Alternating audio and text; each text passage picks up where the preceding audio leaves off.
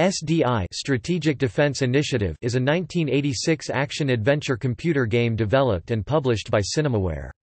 The game is set during the Cold War.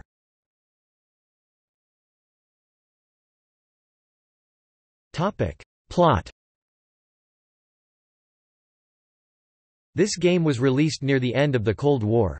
According to the game introduction screen, it takes place in October 2017 in a universe when the Soviet Union did not collapse in 1991.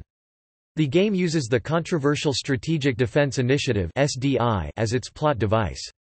True to its name, Cinemaware also looked to Hollywood for some inspiration of the storyline. The storyline is reminiscent of several secret agent movies such as the 007 films from Russia with Love and Moonraker. The game assumes that both the USSR and the United States have their own version of SDI protecting their respective nations. The American station is never referred to by name. However, the manual and the in-game text indicate that the Soviet facility is called VI Lenin Defense Station. It is also mentioned that the Soviet station has laser cannons for defense against fighters.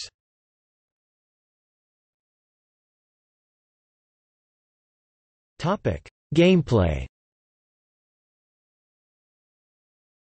The player takes the role of the Commander-in-Chief of the American SDI system, who according to the game manual is a general named Sloan McCormick, presumably in the United States Air Force. McCormick has his headquarters in the American Space Station, which monitors a network of 12 anti-missile satellites in geosynchronous orbit over the United States. The game's advertising blurb indicates that these American satellites employ particle beams. The plot states that Russian revolutionary extremists, led by discontented members of the KGB have gained control of several ICBMs, as well as space launch facilities needed for deploying manned orbital fighters. Because they have received no response to their demands for the Kremlin to surrender and for the Americans to abandon their SDI system, the revolutionaries have begun using their seized assets to periodically launch fighters against both space stations. They have also begun periodically firing waves of nuclear missiles at the United States. The player engages the enemy projectiles and enemy ships using a space-based fighter. The player must destroy the incoming missiles lest they wreak destruction upon the U.S. The player must also make repairs to the defense satellites that become damaged during the battles. Later in the game, the player continues the role of McCormick as, in order to finish the game, McCormick must make a desperate attempt to rescue his lover, he does not necessarily have to succeed. She is the Soviet station commander, and according to the manual her name is Natalia Talia Kazarian. She is placed in grave danger because her station is eventually boarded by the enemy forces, so McCormick must attempt to fight his way past them and reach Kazarian before she is killed. The manual even goes so far as to say that she is at risk of torture, but this is not shown. Kazarian is not an ethnic Russian name.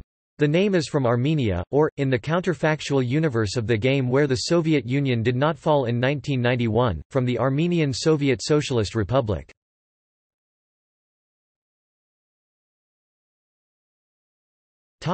Reception